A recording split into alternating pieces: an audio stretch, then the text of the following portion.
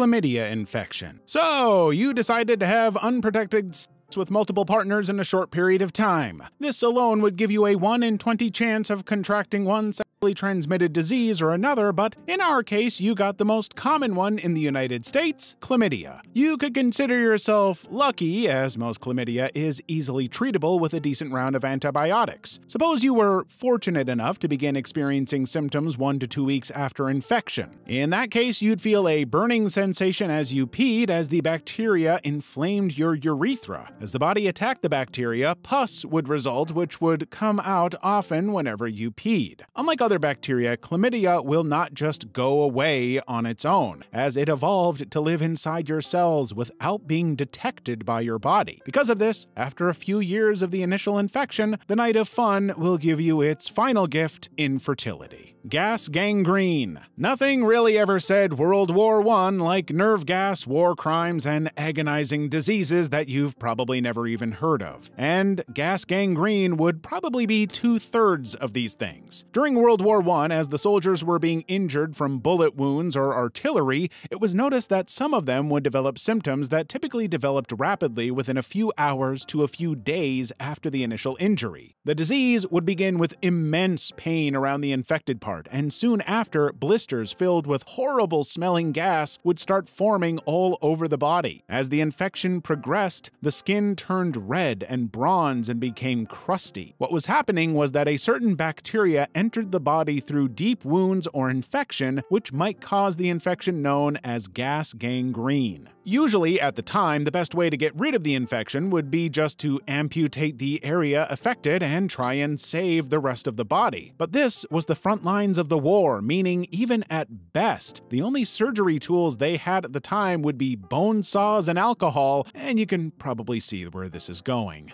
Whooping cough, pertussis. Whoop, whoop. That would usually be the sound an infected person with diphtheria would make when infected with a bacteria known for giving you fits of coughs strong enough to fracture your bones. Predictably, it spreads easily through coughing, sneezing, or even breathing around someone with an active infection. It gets its name from the whoop sound that follows uncontrollable violent coughing fits as the patient gasps for air and they struggle to breathe because the bacteria is smothering their lungs with millions of its copies trying to move into the free real estate. The bacteria itself doesn't really want to make someone sick, it's just that as the bacteria continue to multiply, the waste product it creates is a toxin that's lethal to your body and creates all the other symptoms. The coughing can be so severe that it causes vomiting because of irritation, peeing yourself from all the force you need to cough, and even rib fractures from the intensity. Streptococcal infections. A disease you probably had once or twice twice in your life without ever really knowing is probably one of the more common streptococcal infections, something along the lines of a painful tonsil infection as a kid. As much as these infections are highly contagious, spreading through direct contact with respiratory droplets from an infected person's coughs or sneezes, or by sharing contaminated food or drinks, for the most part, the disease is usually self-limiting, meaning it will clear on its own. But if you were unlucky enough and your body rolled a 20 sided dice giving you the untasteful one, you'd develop something worse. For some individuals, the body might develop antibodies, proteins, to fight these infections. Instead of attacking the bacteria on the tonsils, they focus their attention on the areas like the heart, joints, and brain. This situation would be something called rheumatic heart fever. In this case, your body gets confused and starts attacking the organs it was supposed to protect. Its favorite part is the valves around the heart. The valves of the heart ensure that every time your heart beats, the blood flows forward. Now, because the bacteria and your heart valves have more or less the same protein, the body in time will destroy these valves and you begin to experience heart issues. There is nothing really to worry about. It's pretty rare, only affecting 300,000 new people every year, and if you're above 15, the chances are close to none. If you are below 15, try aging faster. Tetanus. If you are one of the 16% of children whose parents are anti vaxxers who didn't bother to get their tetanus vaccines, this could be you in the end stages of tetanus. Tetanus is a serious but preventable disease caused by bacteria that produce a toxin that causes muscles to contract uncontrollably without stopping. Once in the body, the bacteria releases the tetanus toxin, which attacks the nervous system, the part of your body that makes you able to do all the actions that keep you alive, like eating, sitting down, and swallowing. Early symptoms are usually muscle cramping or tightening in the jaw and neck area. If, for whatever insane reason, you chose to ignore these symptoms and leave the disease untreated, the bacteria enters its end stage and the entire body becomes rigid with painful muscle contractions and spasms. The muscle stiffness becomes so pronounced that the neck and jaw are locked in place, and the facial muscles are frozen in a creepy grin. Finally, anything like loud noises, bright lights, or physical contact can trigger agonizing full body muscle spasms that last several minutes and make breathing nearly impossible. Botulism. Whenever your favorite canned foods are processed, from mercury filled tuna to pineapple in a can, they usually undergo heat treatment to eliminate any lingering bacteria. However, let's say due to poor equipment or negligence, some batches of these cans need to be heated longer under this high temperature. What you have now is a time bomb in the form of a breeding ground for botulism, a fatal illness caused by a neurotoxin produced by the bacterium Clostridium botulinum. In the absence of oxygen, like those foods found within sealed cans or vacuum packed containers, the spores of the bacteria can germinate and begin to grow. In foodborne botulism, the toxin is eaten through improperly home canned, preserved, or fermented foods that have not been adequately processed to kill spores. The botulinum toxin prevents nerve cells from functioning properly, leading to paralysis. Symptoms usually begin within 12 to 36 hours after eating the contaminated food. They usually involve double or blurred vision and muscle weakness that descends through the body. The symptoms worsen every hour if you don't get the antitoxin at hospitals. Eventually, the paralysis continues until your lungs are paralyzed as well, and you die due to lack of oxygen. Leprosy. To be a leper before modern medicine's invention would have to live far away from the rest of humanity because everyone was scared of the disease that could make your fingers and nose fall off. To give you an idea of how bad it was, King Baldwin, the 16th of Jerusalem, had to wear an iron mask at all times because of how bad the disease had destroyed his face at the age of 26. Usually, leprosy is transmitted through droplets from the nose and mouth of untreated cases during close, repeated contact. This means you wouldn't develop leprosy after just hugging a leper. Over the years, many people have developed natural immunity, so not everyone exposed will contract the disease. Symptoms can appear after the initial infection in 5 to 20 years, during which the incubation period can be extended. As the disease went on, victims would usually develop muscle weakness as the bacteria invaded even more of their bodies, eye problems that may lead to blindness, and horrible disfigurement of the face as the disease slowly ate through the skin. Your nose would fall off with time, and the things on your face, like lips and skin, would peel away. If untreated, leprosy would cause permanent nerve damage, meaning you'd lose all sensation in some parts of your body. However, with a very strong multi drug antibiotic treatment, leprosy can be completely cured if diagnosed early before nerve damage occurs. Gardnerella vaginalis infection. Almost every woman in the world will experience a bacterial vaginosis infection at least once in their life, probably caused by many things like using birth control or multiple sex partners. The bacteria causes a bacterial vaginosis BV infection in women, and it's relatively very common. Unlike other infections, it's usually caused by an imbalance in the normal vaginal bacteria, where there is a decrease in beneficial bacteria and an overgrowth of other not so helpful bacteria. In a healthy vagina, the normal bacteria produce lactic acid, creating an acidic environment that helps to maintain vaginal health and prevent the overgrowth of harmful bacteria. However, in BV, the balance of bacteria is changed, leading to a less acidic vagina where these other harmful bacteria begin to multiply and invade even further, releasing waste products that give off the fishy smell. Many individuals with the infection may not experience any symptoms. However, when symptoms do occur, they may include abnormal vaginal discharge that is thin, grayish white. To reduce reduce the risk of infection, women just need to avoid douching, practice safe sex, including consistent condom use, limit the number of sexual partners, and avoid the use of aromatic products or harsh soaps in the genital area. Tuberculosis. Tuberculosis is a dangerous infectious disease that usually attacks the lungs. It is caused by the Mycobacterium tuberculosis, which spreads through the air when someone with it coughs or sneezes. The classic symptoms of active TB disease in the lungs resemble an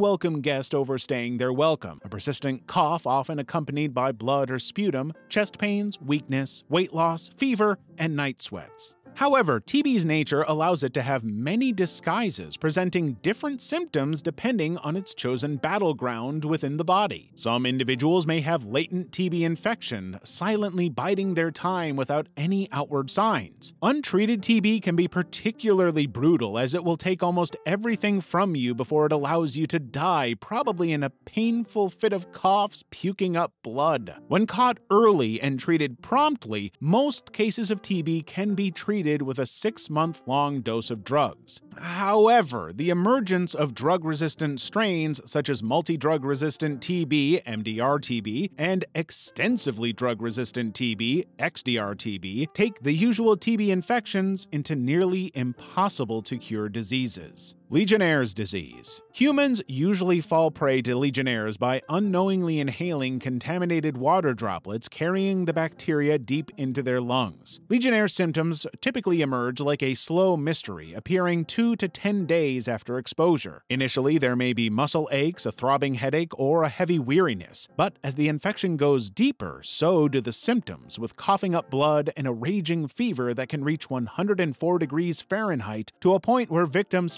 like they're literally burning up. As the disease advances, it leads to respiratory failure, where the lungs are unable to breathe in the air effectively, making the victim be kept on a ventilator. In an x ray of a person with Legionnaire's disease, doctors usually look for the same signs they see in pneumonia. If you were holding a chest x ray for someone with Legionnaire's, you'd see hundreds of white patches throughout the base of the lungs, which show colonies of millions of bacteria that have moved in. Sometimes, if it's severe, the chest might fill up with fluid where sometimes up to two liters will be drained from inside the chest to prevent the patient from literally drowning in his body fluids.